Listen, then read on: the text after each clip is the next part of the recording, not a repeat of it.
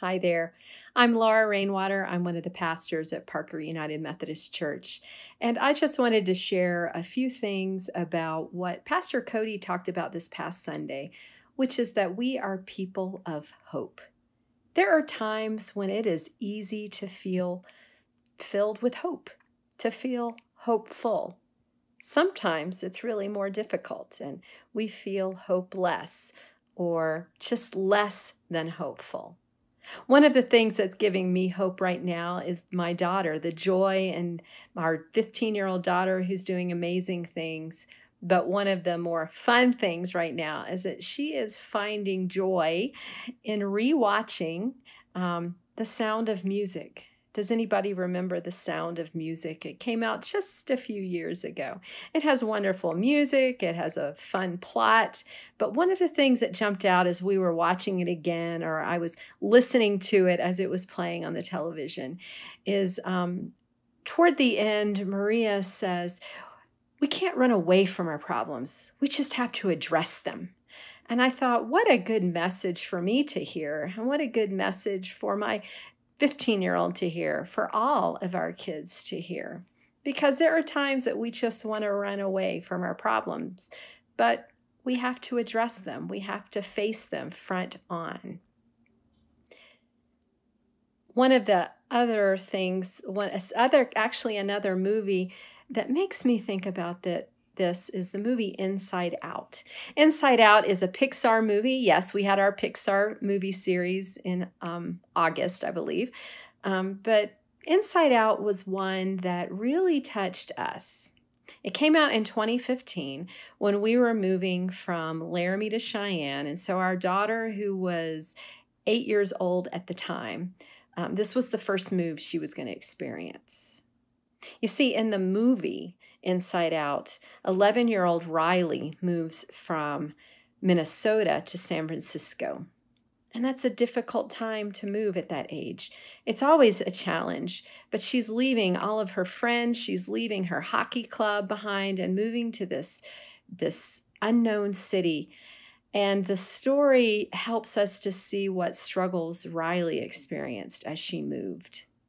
We took our daughter to see this because we knew that perhaps this would give voice to some of the feelings she expected during the move. But just a little personal clarity, or just to be honest, um, it really spoke to me because when I was in eighth grade, we moved from Montgomery, Alabama to Tallahassee, Florida. And um, if any of you remember, or at least I could just say this is what my experience was. When I was in Montgomery, I was in a junior high that was sixth, seventh, and eighth grade. No, it was seventh, eighth, and ninth grade. And I was moving to Tallahassee that was middle school that was sixth, seventh, and eighth grade. So I was moving from a school when I was kind of middle of the pack, kind of like a sophomore, if you will, in the junior high, to a school where the eighth graders had been there. This was their third year, and they all knew each other. And I knew as an outsider that it would be really hard to make friends. And it was a tough year. It was a tough year. My parents, though, stood by us. One of the things I remember, and I don't remember if it was during the fall or the winter or the spring, but during that time, our family would do things together just because we knew it was tough. We didn't have our, our friends, we didn't have our support network. I remember seeing um, Indiana Jones and the Raiders of the Lost Ark. Um, our parents took us to that as something fun during a difficult time. So we watched the movie Inside Out, thinking that that might give voice to some of the challenges that we experience when transitions happen, when change happens. Riley moves, but as a devoted daughter, just like ours, she didn't want to burden her parents. So when her parents asked her how school was going, she would say that word that we often use, fine, or wouldn't say anything at all. Maybe she might slam the door like we often do at that age. It was hard, though. And she didn't want to burden her parents. And so she just kind of ignored those negative feelings. The beauty about the movie Inside Out is that they personify these emotions that are all inside of Riley, and it's supposed to make us think that they're all inside of us. The five emotions are joy, sadness, anger, disgust, and one more. Let me look it up. Despair. Let's see. Joy, sadness, fear, disgust, and anger. We feel those at different times, but when life gets really difficult, when we start to feel hopeless, what is happening? Is it the joy that we feel? Not often. Maybe it's sadness or disgust. Actually, what I remember from that movie, she felt disgust because the only kind of pizza they had in their neighborhood in San Francisco had broccoli on it. Can you imagine that? I mean, we thought people yelled at each other over pineapple on pizza. In that movie, joy was the the main emotion that was trying to direct Riley. So she kept trying to it's it's that fake it till you make it. Everything will be okay. Just be joyful. And that's not what Riley was feeling at all. And through one adventure after another through this this movie, um, it wasn't until at the end when joy allowed sadness to kind of take the reins when joy allowed sadness to be the main emotion that Riley was feeling, then Riley was able to experience everything. She was able to communicate with her parents and she was able to cry, but also to tell her parents, this is really hard. And it wasn't until then that she could really make those new memories and really say, that was then and now is now and i'm going to move forward. You see squashing down the sadness or squashing down the other emotions just didn't necessarily mean that joy was going to happen. That's how it was for me in eighth when i moved in eighth grade.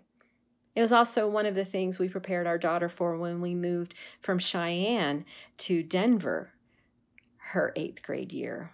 I told her or we told her um, it was going to be tough it's going to be rough. You're going to go to a middle school. Well, everybody knows everybody, and you're going to feel like an outsider, but just hang in there. And we promise when you get to high school at a different school, you'll be just like everybody else. And you know what? That's exactly what happened. But we allowed her, or we gave her permission, or we prepared her for those moments when it wouldn't be easy. And we wanted her to be able to say, This isn't easy, mom and dad. This is rough. And by facing it together, by facing our problems together, we could get through it. It feels right now that our church is going through a time of transition. That we've had a lot of conversations happening at our church about our future, about where what we should be doing or who we should be affiliating with. And and if you're watching this and you're not part of our church, uh, maybe you just end it right now. I don't know.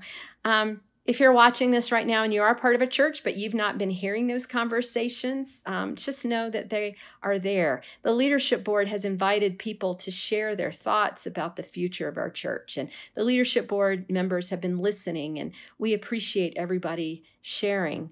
Um, this coming Saturday, we're going to have a leadership retreat, and we're not going to talk about all of these up in the air questions.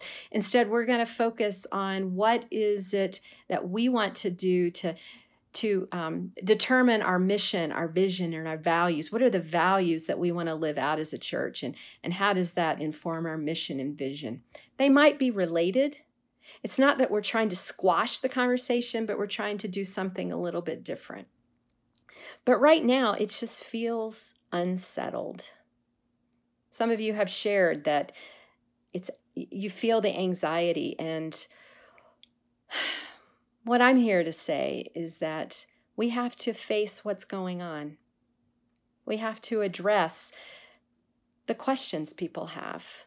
But most importantly, we have to acknowledge that there are some challenges. We have to acknowledge that there are some uneasy, some difficult conversations that we are having right now, and some difficult conversations that we're going to be having in the future. What gives me hope in all of this is that we are a people of faith. We are a people of Christ. Our, as our um, sermon series has been recently, we are people of stories, we are people of communion, we are people of baptism, and we are people of hope. Admit what's going on. And know that we are not going through this alone.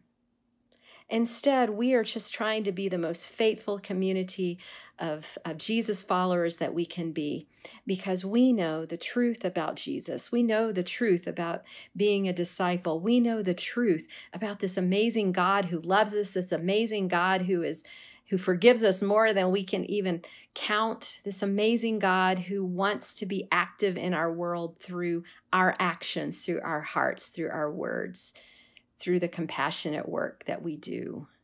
That's where I find hope. But I also find hope in knowing that we can address this together.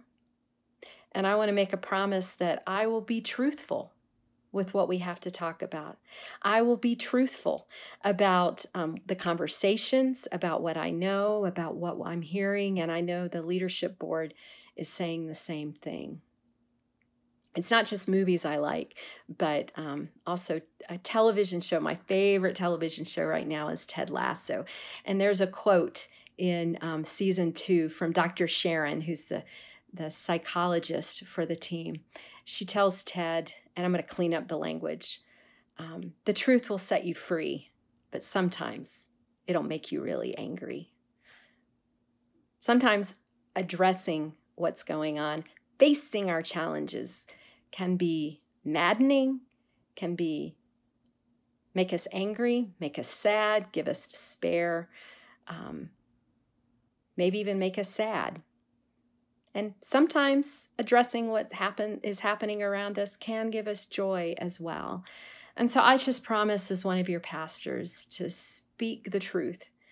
But as Paul says in Galatians, to speak the truth in love and to speak the truth in such a way that we are building each other up, that we are coming together as people of faith. We are coming together as people of hope. If this has been a difficult conversation or you'd like to talk more about it, please contact me. Reach out to me. You can send me an email. You can um, you can text me, whatever it might be.